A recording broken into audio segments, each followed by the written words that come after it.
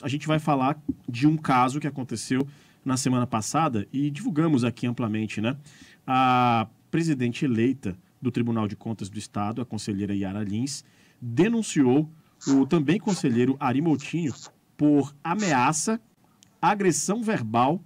tudo isso dentro do pleno lá da Corte de Contas do Estado. Palavras de baixo calão, ameaça de uso eh, de influência para prejudicar a conselheira Yara Lins. E tudo isso ganhou uma enorme repercussão, inclusive eh, já com a advogada falando sobre as acusações que são feitas, as representações que serão feitas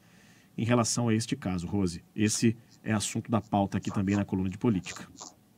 Sim, Rafael, acho que isso já foi amplamente noticiado, não só aqui na Band News, a Band News também de, de, noticiou, todos os veículos da, que eu acompanho, pelo menos no feed, eu vi o posicionamento a respeito dessas questões, que houve uma denúncia formal é, de investigação em relação a esse, esse assédio denunciado e, pela conselheira Yara Lins. E tem imagens também né, de uma da conversa que ela diz que onde houve essa, essa, essa fala do conselheiro Arimoutinho. É preciso ouvir também, claro, o conselheiro Arimoutinho. De toda sorte, é preciso fazer três comentários a esse respeito, né, nesse espaço que é de coluna de política. O primeiro é que essa relação estrutural em relação às mulheres, né, que subjuga as mulheres, de agressividade, que rejeita as mulheres em muitos espaços, em todos os espaços da sociedade, nos espaços de poder também, eles se revelam né, nesses momentos. É, é mais um momento, provavelmente, eu mesma, como, é,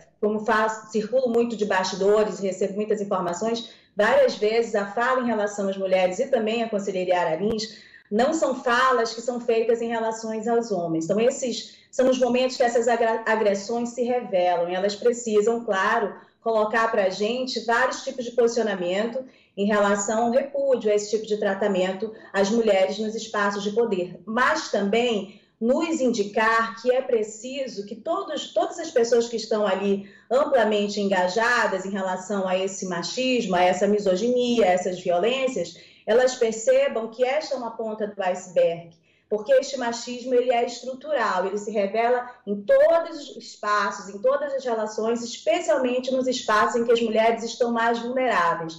e as mulheres são vítimas de violências físicas. Né? Então, é preciso que todas essas parlamentares, que todos esses juristas, esses homens que estão amplamente e muito bem, certamente indignados né, com esse tratamento, a conselheira Yara Lins, também se engajem de todas as outras formas no combate a todos os tipos de violência contra as mulheres, para que esta sociedade aceite com mais tranquilidade as mulheres em todos os espaços, nos espaços de poder e nas ruas, nas ruas, para que elas possam andar nas suas próprias casas, inclusive, né, sem serem violentadas e mortas. Quantas vezes esses, essas, esses debates sobre o feminicídio, esses debates sobre o feminicídio, quando ele é pauta lá no Tribunal do Júri, estão isoladas apenas as mulheres do movimento de mulheres, pouquíssimas lá, e a gente, uma ou outra pessoa da, da,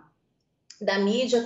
conseguindo dar amplitude ao que é o pior nessa, nesse iceberg da violência contra as mulheres. Esse é um dado, né? Repúdio a todas as formas de violência contra as mulheres.